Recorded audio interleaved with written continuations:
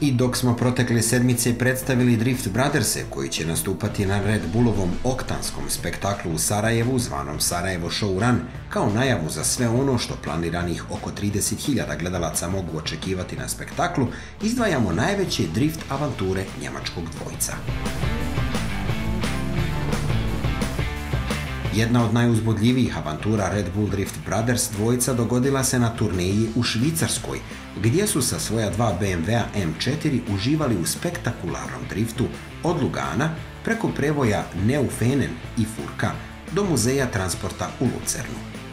Također, učestvovali su na legendarnom festivalu brzine Goodwood, gdje su uprkos uskoj stazi realizirali prvi drift u tandemu na ovom mjestu ikada. Prije nekoliko godina su zajedno sa F1 vozačima Maxom Verstappenom i Danielom Ricardom uživali u driftu na Red Bull ringu i tako dvojcu iz svijeta Formule 1 omogućili novo, potpuno drugačije iskustvo u odnosu na ono na koje su navikli.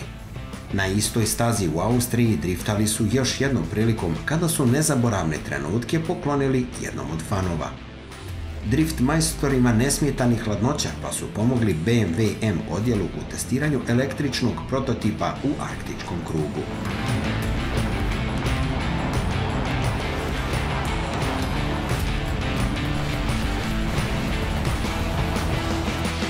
Braća su imala zanimljiv nastup i u Milton Keynesu, tomu Red Bull Racinga, u sklopu proslave osvajanja dvostruke titule u Formuli 1.